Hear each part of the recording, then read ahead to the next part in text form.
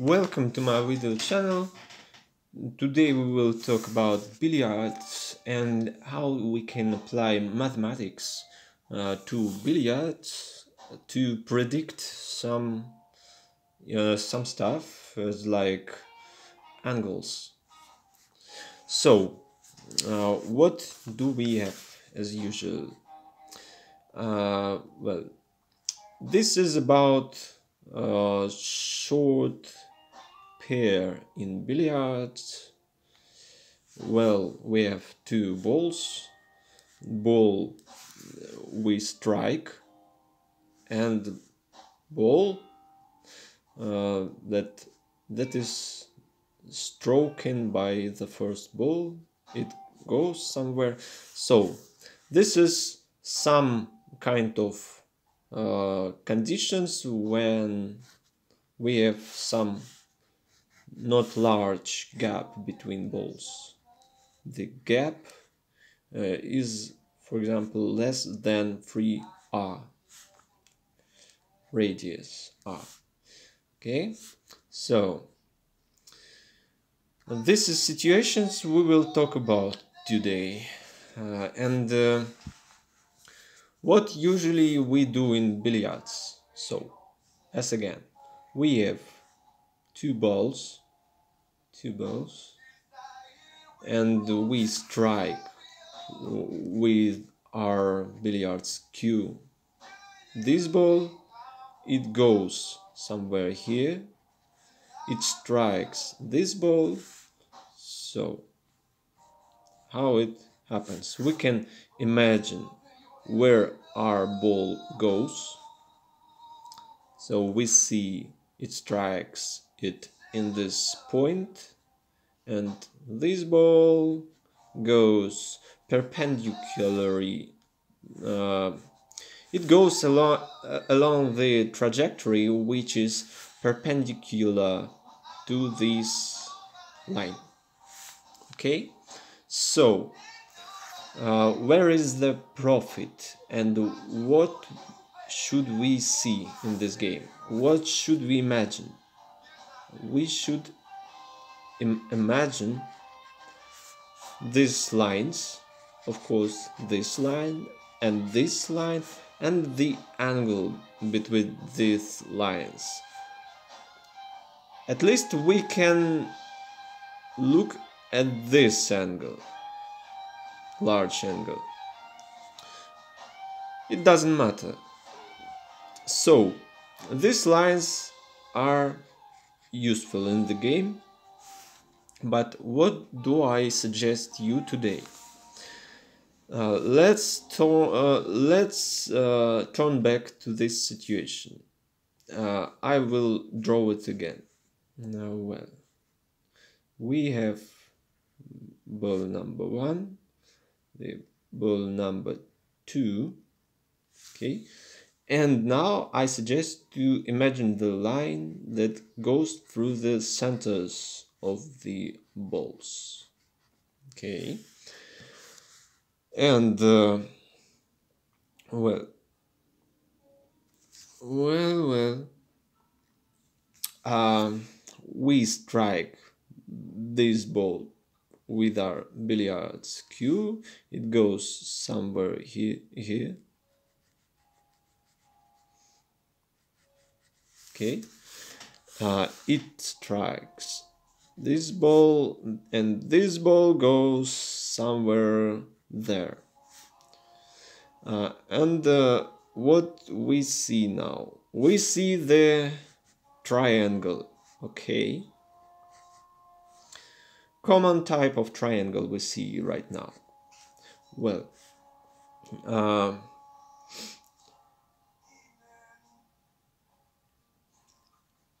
let's call this side of triangle A and we can introduce a vector A with the origin in this point, okay? Uh, in this way we can introduce uh, the vector B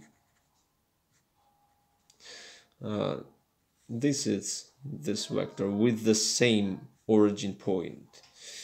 Well, we can introduce the uh, side of triangle C. C. This is the last side of triangle that we have. Uh, and let's introduce the angles. Well, we have an angle alpha and we as a result we we have oh my god everything falls okay we can continue maybe. Yes we can definitely continue the investigation. Well as a result we have a beta angle. So we have some sort of the line. We have two angles. And uh, what is the task here? So uh, there is definitely some function. Well um, we have alpha and the gap between the balls. The gap is g of course. Uh, and uh, we have function of alpha and the gap. So we can compute beta okay. Well uh, in opposite way we can compute maybe another f function of beta and g. We can compute alpha. Okay. Uh, well, it would be useful function to achieve uh, and we will try to do it. So let's do it right now. Uh, as I introduced this site C, we can try to compute this side of triangle. What is it? Uh, well, c squared is equal to scalar product between uh, a minus b and a minus b. What we have here? Uh, a square plus b square minus double uh, scalar product ab and we definitely know we definitely know what is it it is uh, a b cosine beta okay so as soon we know what this side is what the length of this side we can try to relate these angles with each other. Uh, let's try to do it. And we can apply here uh, sinus theorem. This uh, theorem is about um, relationships uh, between, or it is about proportion between uh, angles, uh, sinus of angles in the triangle and lengths of opposite sides this proportion is uh, equal for every one. Well, uh, look how it looks. Uh, sine beta uh, over uh, c is equal to sine alpha and we have here the opposite side, the lengths. Uh, a. Okay, uh, but we know the c square, so we can uh, do some stuff with this equation. Uh, and uh, and what? We know uh, what a. A is to r two a, but I suggest you to uh, normalize every length uh, in this situation, uh, normalize it by r. So I suggest you to, uh, I suggest you to divide everything in this way. So we have here 2. It is 2 radians. It is length that is computed in radians. It is normalized length. It is very convenient in this task, so uh, we remove this, this, we can remove what we can remove this and we can say that it is equal 1 okay? And we can remove even it okay? Uh, so we, su we successfully removed R oh my god. R it doesn't exist anymore okay? Very convenient way. So what we can do with this stuff. Uh, let's try to do it. We will try to do this way. So sine beta and a. So we have uh, 4 sine square beta is equal uh, c square. But c square is this stuff. Let's uh, do it. So a square plus b square minus 2 uh, cosine beta uh, ab okay. And uh, and uh, sine alpha squared. Well we have separated alpha. It means we can achieve the function this function. Let's try to do it. Well alpha is equal to arc sine of what? Of uh, well to sine beta uh, about uh, square root of this stuff. And we know what a square is. It is uh, 4 plus. And we know what b is. So b is our gap plus 2 because we have here 1 and 2 okay? So plus b square it means plus 4 plus 4g plus g square and minus this stuff. Minus double ab so a is 2 and finally b plus 2 plus g cosine beta. So we achieved the formula number one. Right now we have this formula right now we uh, having beta we always can compute alpha uh, otherwise, we can use computer and we can, uh, using this formula, we can compute something like this stuff.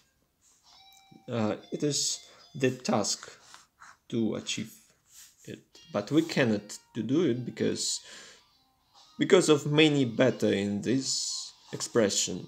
It is not easy, of course. Uh, well, so uh, using uh, Python, I can uh, achieve uh, some plots. Uh, plots, it would be very useful maybe to have these plots. And uh, it may be the purpose of my the next video I can make the, the next time. but it is not over because the most interesting in, in this computation uh, it is um, to find uh, when this formula is restricted because it doesn't work in some situation. Let's imagine this situation. So we can strike this ball under mm, some angle which will be more than some alpha 0 for example this angle okay? We strike it, it and it goes somewhere and it doesn't interact with the ball number two. So this formula doesn't work anymore okay? Uh, how to find uh, this uh, radical situation? We can find it uh, from the picture we have here we can draw the line some line. You see uh, the point some point. It is the last point uh, on this uh, ball uh, where the first ball can to interact with the second ball uh, because it cannot interact with this ball. For example uh, in this point okay?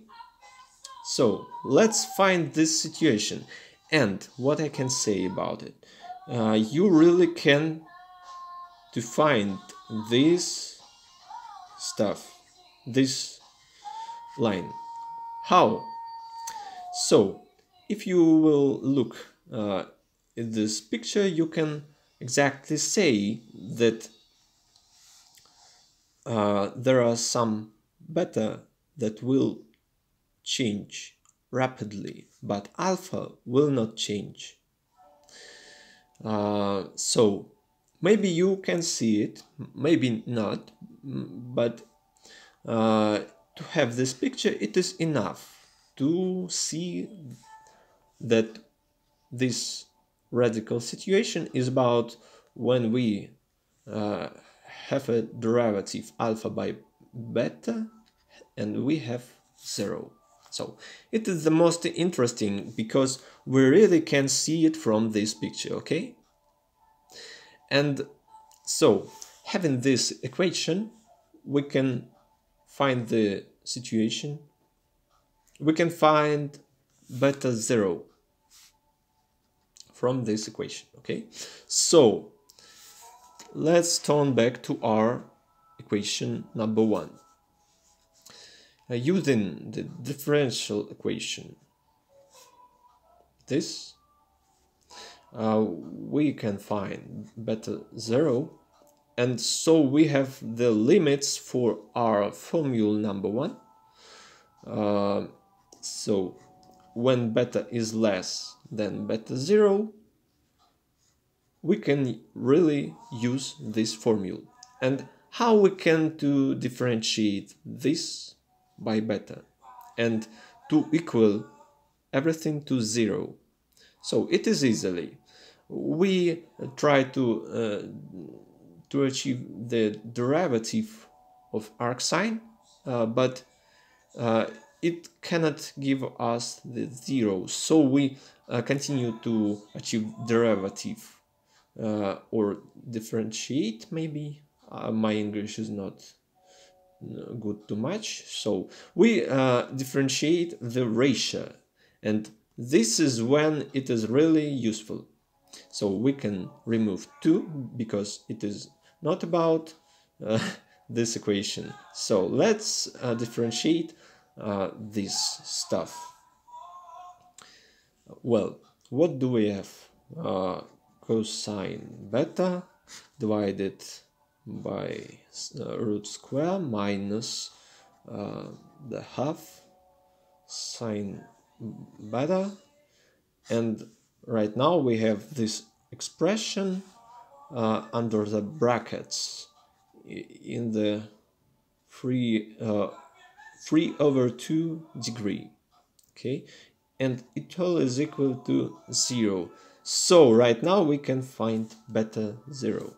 Well, we can simplify this expression in this way. Look, it is simple. And this expression we, we finally can put here. So 8 plus 4g plus g square minus 4 2 plus g cosine beta. Um, is equal I see it uh, sine beta. So it is equa it is equation where we can find beta 0 okay uh, oh I have lost uh, something yes. And it is cosine beta 0 well this is equation so we can find beta 0 and we finally can say when this equation number one really works